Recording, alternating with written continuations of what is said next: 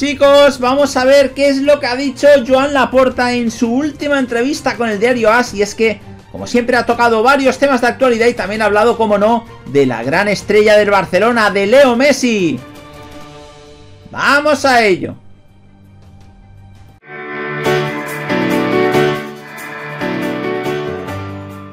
Hola de nuevo chicos, ¿cómo estáis? Bienvenidos de nuevo a otro vídeo para el canal. Vamos a analizar la última hora del Fútbol Club Barcelona y vamos a hablar en concreto de las elecciones a la presidencia del Fútbol Club Barcelona con el principal candidato, con Joan Laporta, que ha hablado esta vez con As. Vamos a analizarlo con detalle, por tanto te animamos a que te quedes hasta el final de este corto vídeo y a que nos dejes un buen like.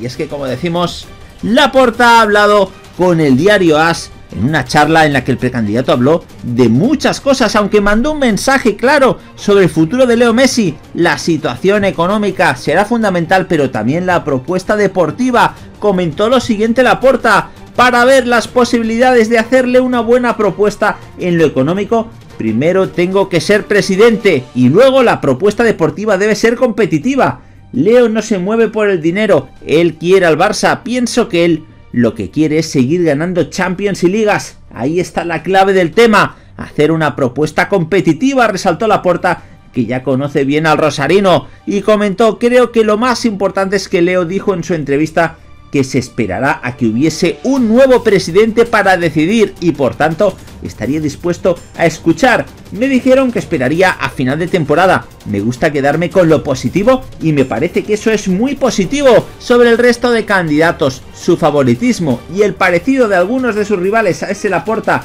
que ya fue presidente comentó veo Laportas en todos lados y Laporta solo hay uno si otros quieren serlo, lo respeto y respeto lo que digan porque yo estoy centrado en nuestro programa y en ser presidente el día 24 de enero. También dejó clara su postura respecto a la Superliga y comentó, estoy abierto a que me convenzan, quizá vería mejor una contraoferta de la UEFA con una Champions más fuerte. Me gusta como está, pero es mejorable.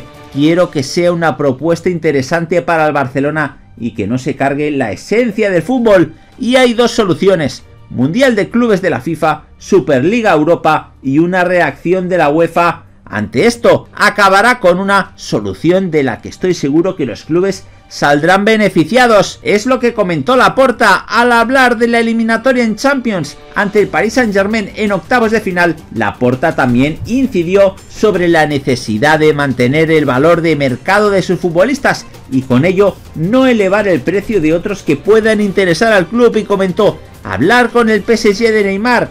Si hablo de un jugador estoy subiendo el valor de ese jugador y bajando también del que pueda salir para hacerle sitio. Y eso no lo haré. Sería del género tonto caer en esa trampa. Por tanto, chicos, finalizó diciendo esto yo en la puerta en la entrevista A. Si nos gustaría saber vuestra opinión al respecto.